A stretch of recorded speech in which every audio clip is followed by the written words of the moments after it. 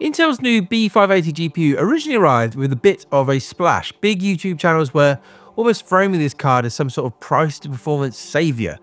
When I took a look in Star Citizen, the only game that really matters, I kind of found that performance was quite spiky.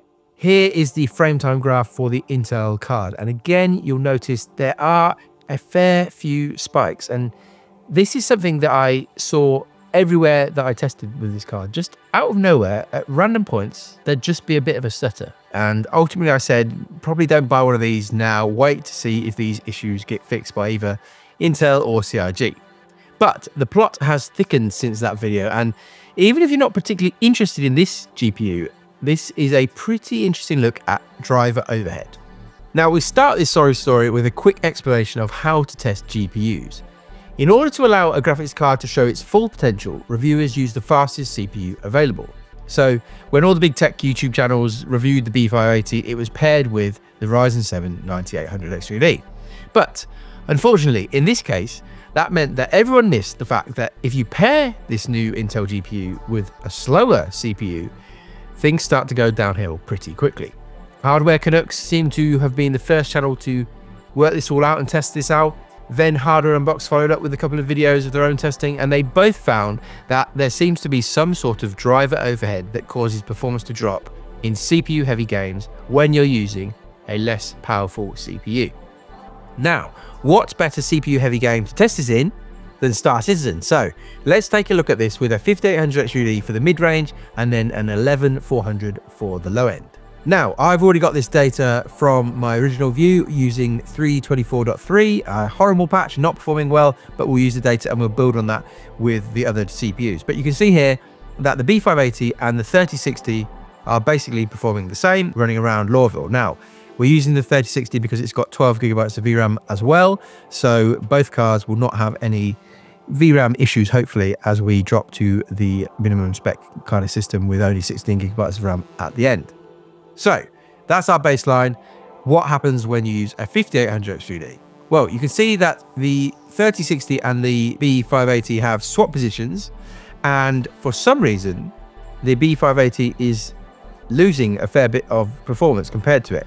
The 5800 X3D is still the bottleneck completely here. Both cars could perform better, as we've seen with the 9800 X3D. The CPU is the bottleneck, but for some reason, on the 5800 X3D, the B580 has lost a bit of performance. Now, is this down to CPU overhead because the architecture of the Intel card is just uses more CPU resources to get pump out the frames? That's kind of the theory going on. But actually, let's be honest with you here what's happening.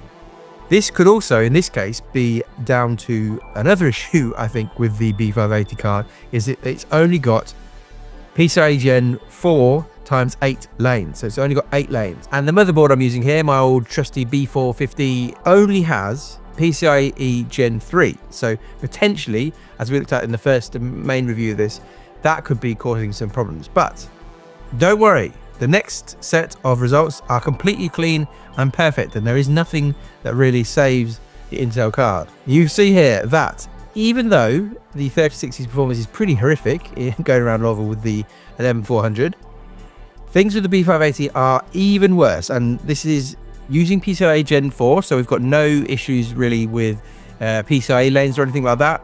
This is now just two GPUs under the same conditions, and you can see that the Intel card is significantly far behind. And if I show this on a frame time graph, this is the 10 runs that I did to this all plotted. You might think, oh, that doesn't look that bad, but if you start, if you look at the range, you'll see that the biggest spike is 7,000 milliseconds, aka 7 seconds.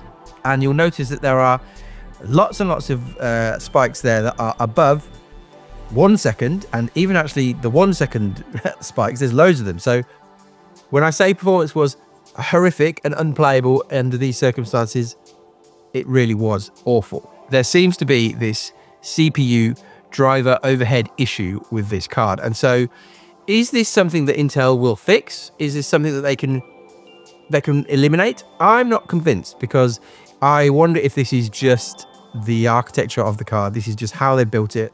We've seen already that there's a reliance on resizable bar. We know, not to go too deep into it, we know that NVIDIA also has some sort of CPU overhead when using certain graphics APIs. And we know we're talking things like hardware schedulers versus software. It's a complicated topic, but this is just because it's an issue with this Intel card. And the problem is, the major problem is that this is a card that you might think, looking at the price and looking at the performance, that you could drop in to an older system to use as a, a decent GPU upgrade. So say, say even you're using my kind of minimum spec uh, recommended GPU, the 1660. You might think, well, this is not too expensive. It performs a lot better. I'll just chuck it into my system and performance should be better. And unfortunately, if you are running an older system with an older CPU, a slower CPU, anywhere probably in this range, anywhere from like a, I mean, 3600 from AMD, again, I don't know how much faster you'd have to get on the Intel side to suddenly eliminate these issues. I imagine the kind of 12th gen i3 with four cores, that would also struggle in this sort of case. There are potentially a lot of kind of mid to lower end CPUs that basically this card will just not run very well on. And uh, it's a shame because again, it, at, at, the start when the original re reviews came out, everybody was praising Intel, saying this is a great job. Uh, you've done a, a, wonderful thing. It's cheap and it performs well. It, it compares with the 4060, 6700 XT that I tested in the original review.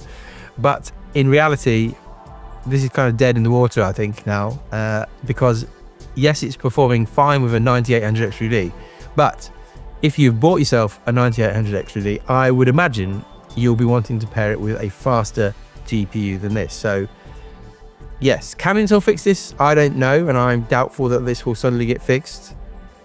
And what would I recommend? Well, yeah, you're probably looking at the if you're trying to keep it as cheap as possible, the 3060, despite being a bit slower than the 4060, has got 12 gigabytes of VRAM, which probably is helpful going forward. But probably the winner in this sort of price range is still the 6700 XT. And there are obviously uh, other cards from AMD, the 7600 XT has got 16 gigabytes of VRAM, that would be fine. There's all sorts of issues in this sort of price range in terms of you need to have plenty of VRAM on the AMD side. The AMD, the in, the NVIDIA cards tend to not have enough VRAM. It's a bit of a mess. We thought this was the card that was going to save everything. We th I thought this could be a good recommendation for kind of 1080p Star Citizen performance, but as as things develop, my original recommendation stands really. Don't buy this card and wait and see.